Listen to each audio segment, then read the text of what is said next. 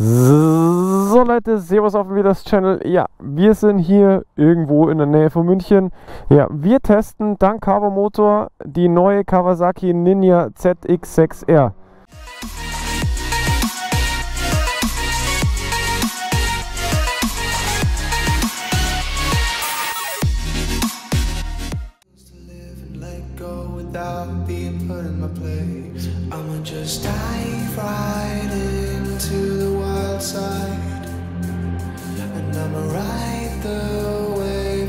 I die.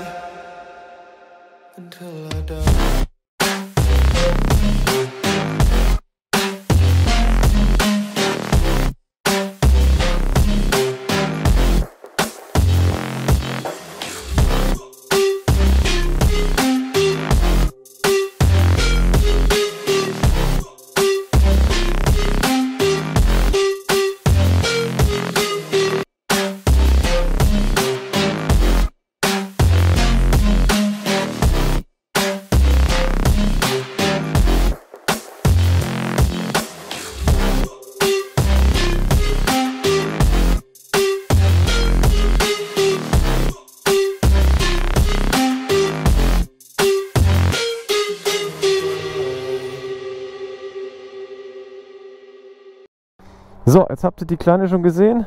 Machen wir hier mal das Mäusekino an und dann geht's los. Ja, dann würde ich sagen, kurze Vorstellung, auf was sitzen wir hier? 2019er Kawasaki ZX6R.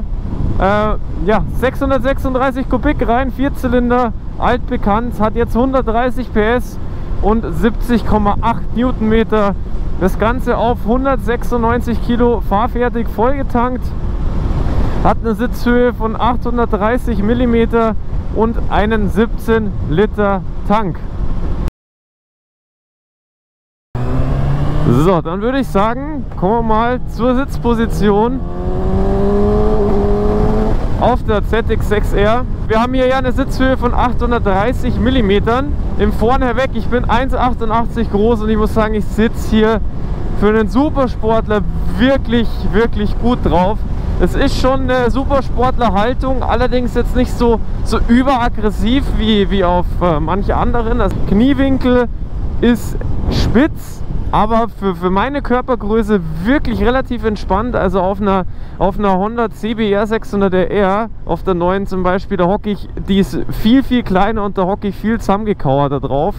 Ähm, die Sitzposition ähnelt sehr meiner Triumph. Ich finde, man sitzt ein, ein bisschen mehr mit dem Arsch nach oben, aber es ist wirklich mega angenehm. Also man kann es beschreiben, dass man schön im Motorrad sitzt. Ich sitze auf der hier viel entspannter und angenehmer, was eigentlich total komisch ist, wie auf der großen Schwester. Natürlich habe ich das Problem, dass es nach zwei Stunden schon mega anstrengend für mich wird, aber das habe ich leider bei jedem Supersportler. Aber hier ist es für mich und meine Körpergröße wirklich erstaunlich entspannt. Was, was sogar wirklich gut ist, ist das Windschild. Das muss ich jetzt auch sagen. Ich habe nämlich halt oft immer das Problem, dass mir das Windschild zu niedrig ist. Das war bei meiner damaligen CBR, das war bei der Daytona so, das ist auch bei den meisten Tausendern so. Aber hier muss ich echt sagen, ist das Windschild so, dass ich sage, okay, es stört mich jetzt nicht. Ich würde mir wahrscheinlich, wenn es mir gehören würde, ein höheres draufbauen. Aber das hier ist selbst für meine Körpergröße ausreichend. Und das finde ich wirklich, wirklich gut. Also es ist echt, eine Empfehlung geht raus für große Leute. So, dann würde ich sagen, kommen wir mal zu den Armaturen auf der ZX6R der neuen. Ähm, ja, Hebel sind äh, einstellbar in fünf Stufen jeweils, Kupplung und äh, Bremshebel. Kupplungshebel ist sogar noch ein Seilzugkupplung, genauso wie das Gas ist kein E-Gas. Dann zur Tachoeinheit, die wir hier haben. Wir haben hier einen analogen Drehzahlmesser mit einem äh, LC-Display nebendran, der halt nicht farbig ist. Äh, Finde ich, schaut aber alles echt ganz gut aus. Also mir gefällt es eigentlich richtig gut. Ich mag das ja total gern mit analogen Drehzahlmesser. Viele könnten jetzt sagen, das schaut ein bisschen altbachen aus. Ich finde es aber richtig, richtig gut. Ähm, auch total übersichtlich mit den Informationen. Man hat groß Ganganzeige mit drunter Uhrzeit. Dann groß eben noch die, äh, die Geschwindigkeit, oben Triebzähler oder Gesamtkilometer, den Power-Modus, Traktionskontrolle und dann eben noch die Reichweite, Verbrauch äh, und ich glaube Motortemperatur kann man sich noch anzeigen lassen, sowas in der Richtung. Ist wirklich sehr übersichtlich, aber auch dafür total gut ablesbar und man hat alle Informationen schnell auf einen Blick. Das finde ich echt toll. Und so mit der Gabelbrücke und so, das macht alles einen mega hochwertigen Eindruck. Gefällt mir wahnsinnig gut. Und so ist die Bedienung durchs Menü ist äh, relativ intuitiv. Das einzige, am Anfang war der Quickshifter komischerweise irgendwie ausgeschalten. Den einzuschalten, das war ein bisschen tricky, habe ich aber hingekriegt. Äh, da muss man den Select-Button hier sehr, sehr lange halten. Dann kann man den aus- und einschalten. Aber wie gesagt, so alles sehr intuitiv. Ja, dann würde ich sagen, kommen wir mal zum Motor auf der ZX6R, Baujahr 2019. Ja.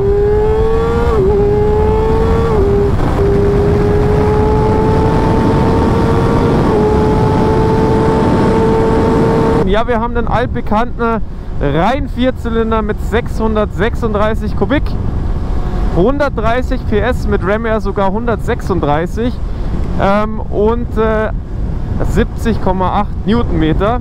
Was ist neu jetzt an dem Motor? Ich glaube, das ist eigentlich der altbekannte Motor. Wir haben jetzt den Kickshifter an Bord, Traktionskontrolle, die in mehreren Stufen einstellbar ist, äh, ein, äh, zwei Fahrmodis, einmal Full und Low und wir haben äh, eine kürzere Übersetzung im Gegensatz zu, zu den Vorgängerinnen. Wie fährt sich der Motor? Also ich hatte ja wirklich Todesbedenken, muss ich echt sagen, dass, äh, dass das Ding überhaupt keinen Spaß macht. Durch die Euro 4 und wenn man immer das so gelesen hat von der neuen R6 und ein Spätzle von mir ist die auch schon gefahren und der hat gesagt, das ist der letzte Rotz, wie zugestöpselt der Motor ist.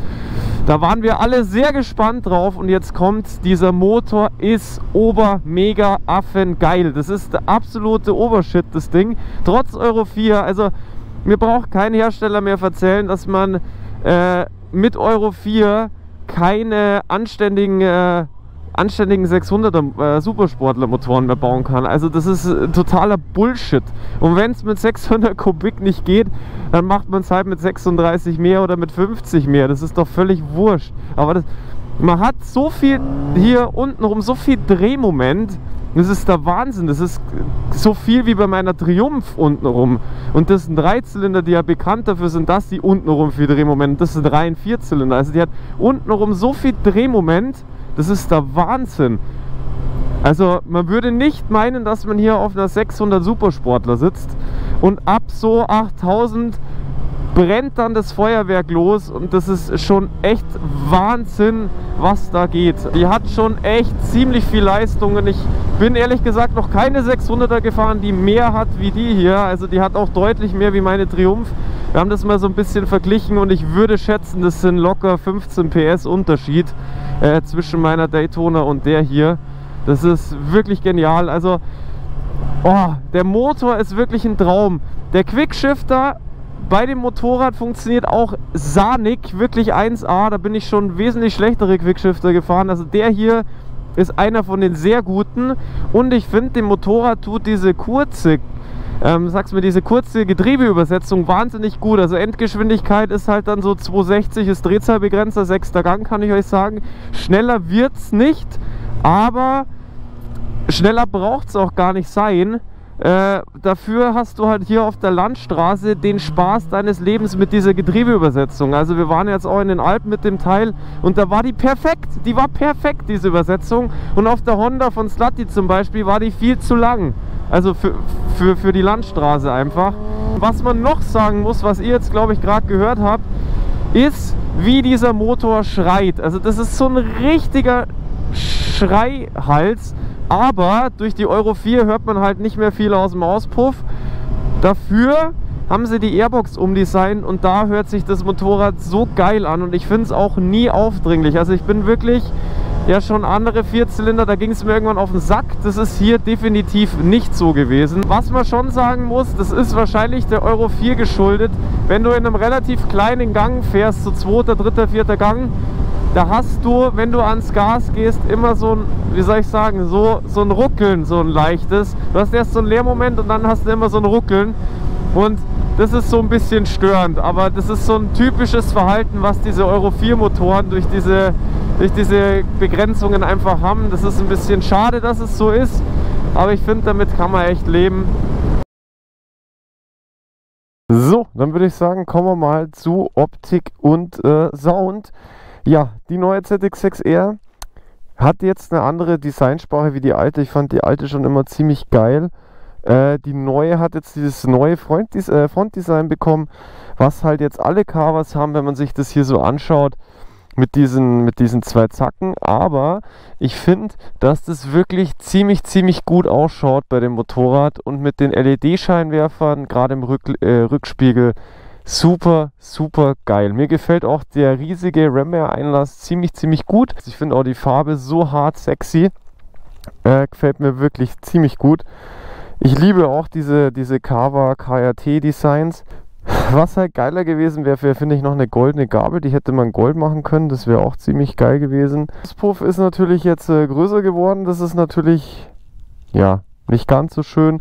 Ich finde auch, dass der so chrom ist. Ist so, hm, semi-optimal, aber ich finde, sie haben es noch relativ gut gelöst für Euro 4. Also es zerstört jetzt nicht das Designbild. Dass die Schwinge hier so schön geschwungen ist, finde ich auch, ja, das ist auf der Seite gar nicht so. Also die Schwinge auf jeden Fall gefällt mir ziemlich gut. Auch das Heck, das ist halt das Heck von der ZX10R. Äh, schaut ganz nett aus. Ich wäre cool gewesen, wenn es vielleicht ein bisschen eigenständiger gewesen ist, aber ich glaube, das sind halt einfach Kostengründe, warum man das macht. Aber schaut definitiv nicht verkehrt aus. Natürlich ist hier jetzt ein kurzer Kennzeichenhalter dran, der macht natürlich schon viel aus. Also ich finde es wirklich geil, wirklich tolles Motorrad. Und äh, jetzt würde ich sagen, kriegt ihr noch einen kleinen Soundcheck.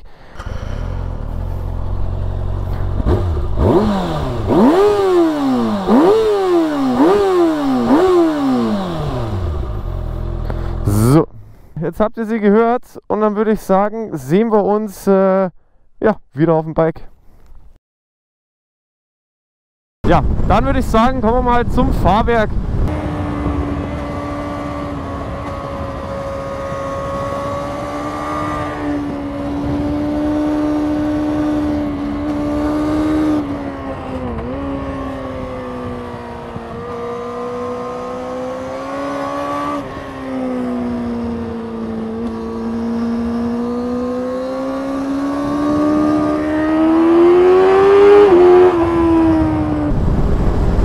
Wir haben hier eine Upside-Down-Gabel vorne von Showa, eine Big Piston Fork mit 41 mm, die äh, voll einstellbar ist in Zug, Druckstufe und Federvorspannung und hinten auch ein Showa Federbein, das voll einstellbar ist.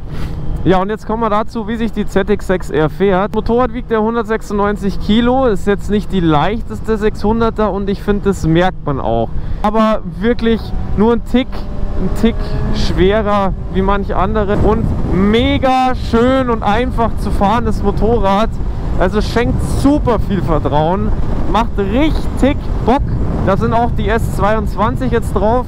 Äh, die brauchen ein bisschen Temperatur, aber wenn die mal Temperatur haben, funktionieren die einwandfrei und schenken auch super viel Vertrauen. Mega schön neutrales und schönes Einlenkverhalten.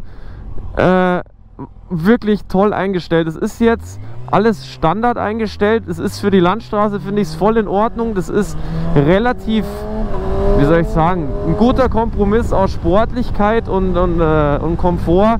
Für die Rennstrecke ist es aber in der Einstellung zum Beispiel definitiv viel zu weich. Also wenn man jetzt da zum Beispiel hier mal ankert, man taucht schon relativ weit vorne ein. Aber für die Landstraße finde ich das Setup eigentlich ganz gut. Ja, dann würde ich sagen, kommen wir mal zu den Bremsen. Ja, wir haben hier eine Doppelscheibenanlage mit 310er Scheiben äh, verbaut, mit äh, zwei radial montierten Bremssätteln von Nissin und einer radialen Bremspumpe von Nissin. Natürlich mit ABS. Hinten haben wir eine 220er Scheibe. Und ähm, ja, wie, wie bremst das, äh, das Motorrad? Also die Vorderradbremse finde ich wirklich den absoluten Oberburner für das, für das, dass man meinen könnte, oh, jetzt Nissin und so, mh, hm, vielleicht nicht das Beste. Also an der 50 Monoblock kommt es jetzt nicht ran. Die Bremsleistung, die hier anliegt, die ist wirklich genial. Also super schön zu dosieren. Hat einen richtig knackig ersten, ersten Biss. Also gefällt mir wirklich wahnsinnig gut. Die Hinterradbremse, die ist okay.